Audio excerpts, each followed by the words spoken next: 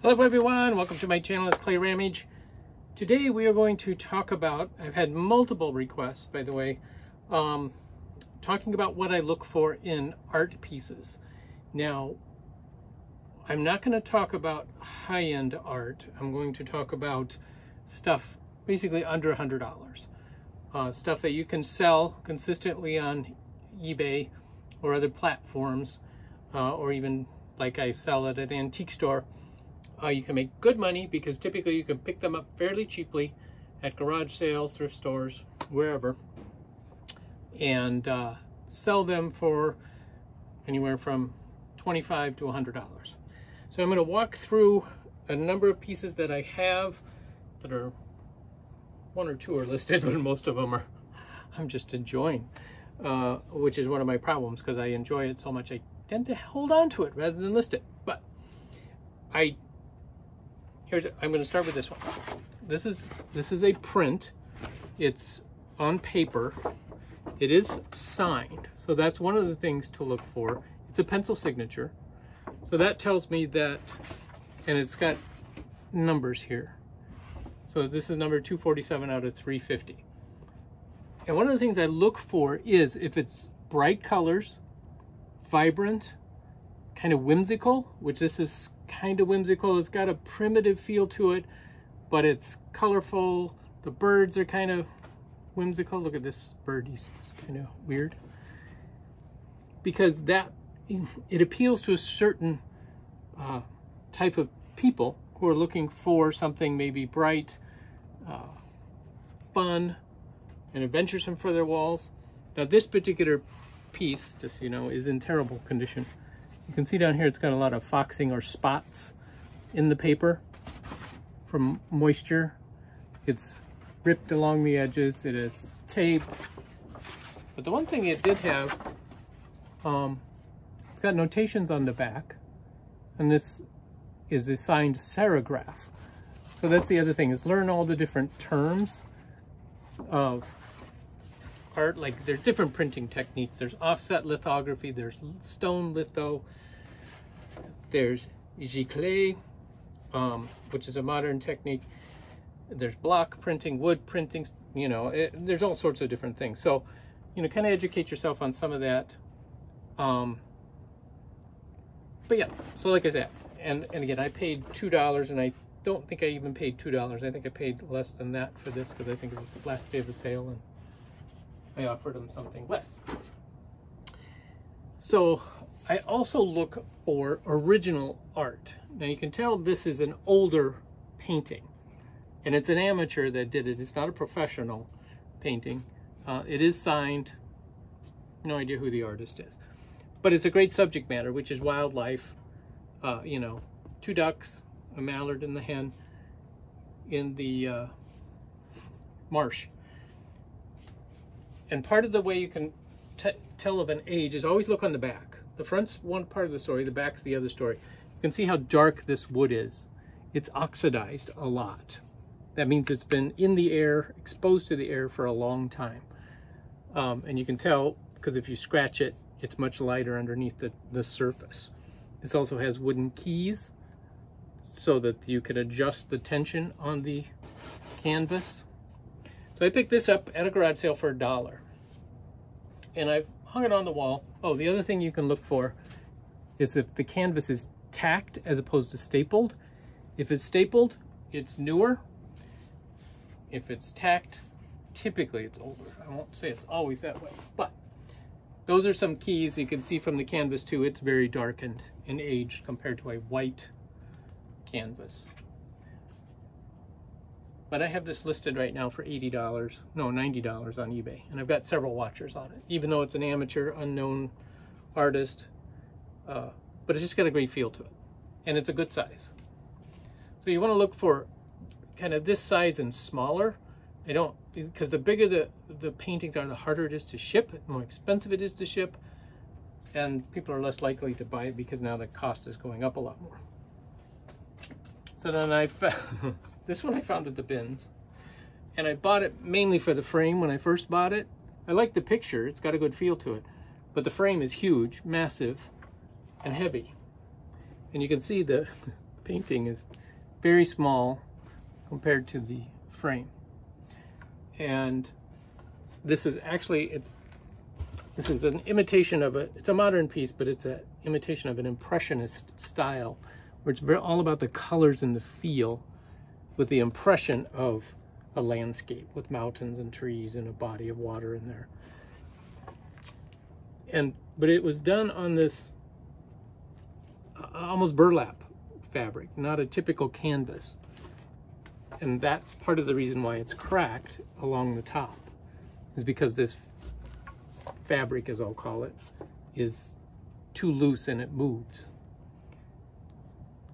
But the more I look at it, the more longer I've had this, the more I like it. So I might just sell it like it is.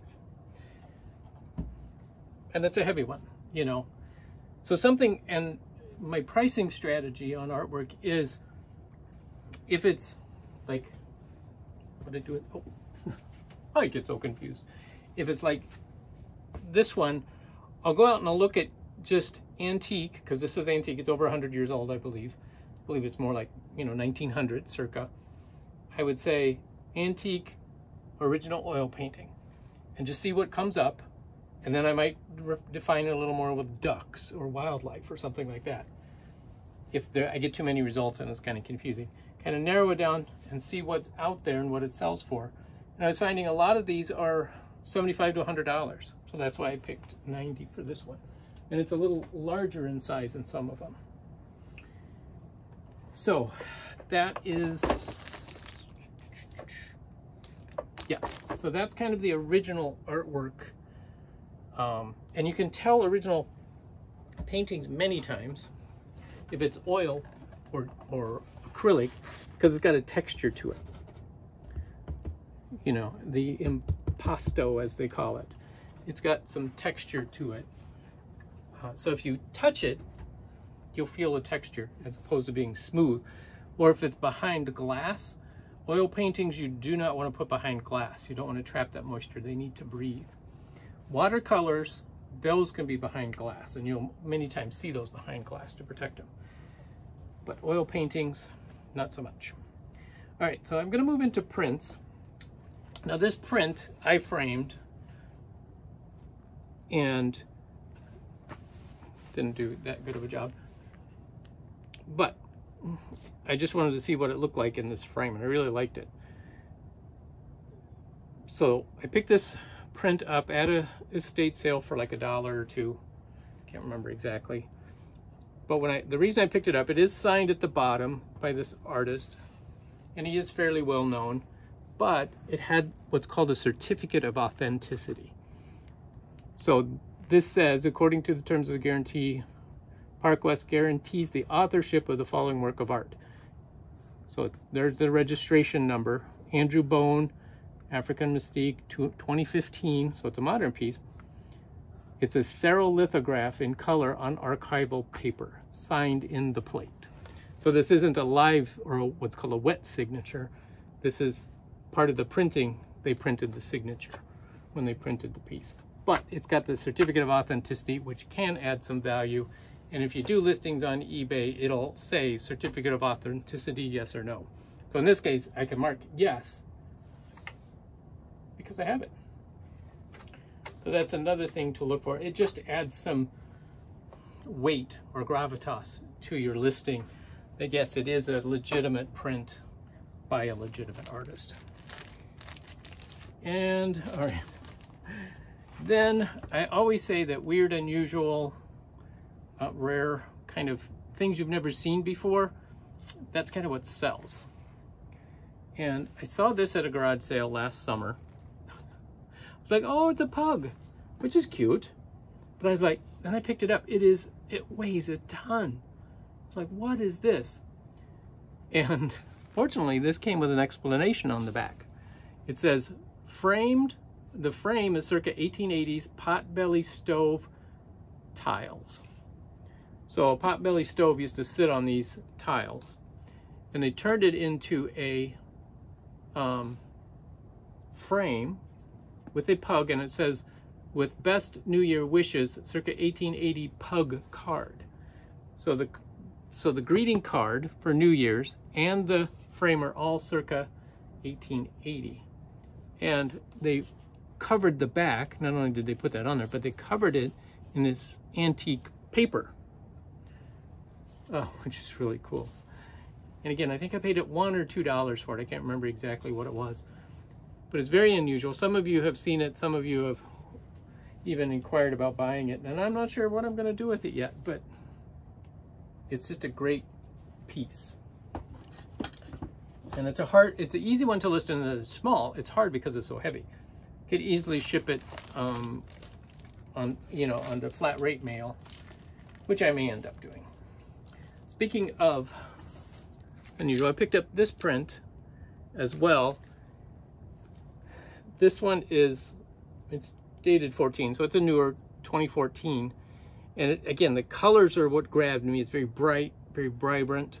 Uh, this large eye of the bird, this mass here, which kind of is like a moon sun combo. You know, it's just kind of a, you, you really have to think when you look at this as to what's really going on.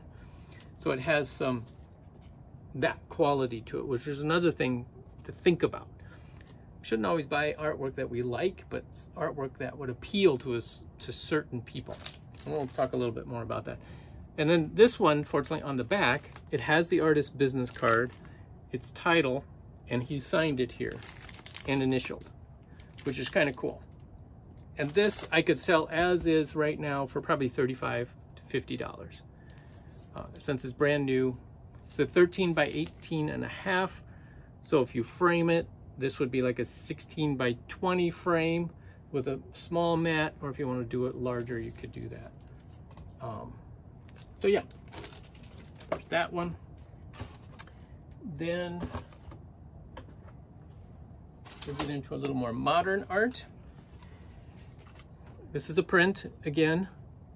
And what's the first thing you think of when you see this? First thing I said was 1970s. It's got that feel to it the large-eyed owl, the coloring. It's all it gives you that feeling of 1970s. So that's why I grabbed it. And then I looked at in the back and it's got a sticker on it. So this was a production piece. Some company produced multiples of these. You know, probably one of the home interior type companies and it was sold fairly broadly in this frame. So, and if you see there's paper on the back, and I know people have talked about, people used to stash money behind here, but I can tell you, in all of the years that I've been doing this and looking at this, I've never found anything in the back of a painting. Not to say it might not be, but I don't think it's as common as people used to tend to believe it is. All right, so that's a more modern print. The other thing I look for is something like this, where it's unusual in the framing. The frame is unusual. The it, It's obviously old. Sorry, I keep trying to eliminate the glare. And when you look at the back, you know, you can just tell it's quite old. It's a brass ormolu added to an oval frame, and it is dated right here in the corner it's dated 1898. That's when this image was created by James Arthur. And he is a very collectible um, photographer that would do these prints in a sepia tone. And I just love the look of this. This actually was given to me by a viewer. And uh, I love this print. So that's another thing to look for. You know, does it look old? Does it look you know, would it work in Victorian house or something like that? All right, now we'll switch up to a more modern piece again. This again is a print, limited edition print by this artist, Joan Gray. It's called Sunflower. She actually has a number of prints. You can find her out on eBay. So she's pretty prolific and collectible. And, and again, Sunflowers are another subject that is collectible. Owls, people collect owl, owls, dogs, cats. You know, that's the other thing to look for is, is the subject matter in the picture something that people collect or look for or would decorate with. Sunflowers, definitely. That's why I picked this one up. I've had this one a long time and I'm surprised it's not sold because I'm only asking $25 for it. So I will probably take the listing down and then relist it. Um, you know, maybe modify some things. There could be something wrong with my ad that is not popping up when people are searching different things. So we'll see. The other area, um, in the 20s, 30s, and 40s, they did a lot of these hand-colored prints um, of Europe. And so they have this nostalgic feel of, you know, medieval or, you know, 18th century, 19th century European cottages, buildings, uh, those types of um, subject matter. And this one is written up here, copyright 1938. So one of these, there's written in pencil. Usually one is the location, like in this, it's a canal near Nettles. And then this would be the person who did the um, hand coloring, typically, because the print itself is from someone else. And see, and this says made in the USA. A lot of these are made in Europe. Some, you know, some are made in the USA. Again, it was very popular. It does list the company up here, IMO. So you can, you know, if it's got this information on it, it's easy to investigate. Because typically these were produced, mass produced. There were a good number of them out there, but they're still collectible. Um, and people look for them, particularly if they have an old house they're restoring and want to decorate. Um, oh, it's in front of me. All right. Then I have, there is a whole bunch of, I'm going to take the little frame on it. I just picked this up and at an estate sale a couple days ago. This is a what's called a steel engraving. So they actually, this was a, a, a painting um, by, his name is Bordone, Paris Bordone, B-O-R-D-O-N. He was from the 16th century. He lived from 1500 to 1575 or something like that. And he was famous for this uh, painting. And it's this guy is giving a ring to the bishop. That's basically what's happening. So in the 1800s, this Geyer, well, Geyer actually was 1900s, but they did a the steel litho. So somebody would sit and carve into a steel plate all these lines to make these lithos. Um, and then they named it and all this. And again, this is not in the best of shape. You can see all the foxing and stuff. And there are ways they can take that out and conserve it depending upon the value of the piece. But a lot of these are not that valuable. Now you'll find a lot of them loose without being framed because people would buy them and just never frame them. In fact, I have a whole binder full of these steel plates of famous um, people from the late 1700s, early 1800s in America. A lot of the presidents, the people that fought in the uh, Revolutionary War, um, and those kind of things. So they were very popular in those days, and they created them. Um, the, I just wanted to, this is another print, and you can tell just from the frame, this is early 1900s of when this was done. Now what's incredible about this piece is the coloring is still extremely bright and vibrant. What happens over time is the coloring fades and becomes, you'll see it in a lot of prints, they look very bluish. The whole thing, it looks like it's got a bluish tint to it. And particularly if it's like an offset litho, because those inks tend to fade very quickly, the reds and the yellows. So it becomes more blue. The blue starts standing out. But in this case, the color is just fabulous, which means it wasn't exposed to bright light. And uh, it's, it's just fabulous. I just love this print. That's why I still have it, because I haven't sold it. I love the unusual shaped frame. That's another thing to look for. And if uh, it has a convex frame, in other words, it curves out the glass. That's another thing to look for. So those are just some of the basic things I look for when I'm looking for art. And again, none of this artwork did I pay more than two or three dollars for. And I just picked it up garage sales, estate sales, Goodwill, the bins. I'm amazed at how much stuff I picked up at the bins. And again, most of this would be one of the higher end. I would sell this closer to a hundred dollars. Most of these I would mark like these. I start them out at my standard price. I have a standard price of $34.99. Then if I get interest and it sits for a couple months, I send offers of like $29.99. And then if I'm really feeling like I need to clear stuff out, then I'll drop it like $10 and say $24.99. So that's how I move it, and I've had great luck doing that.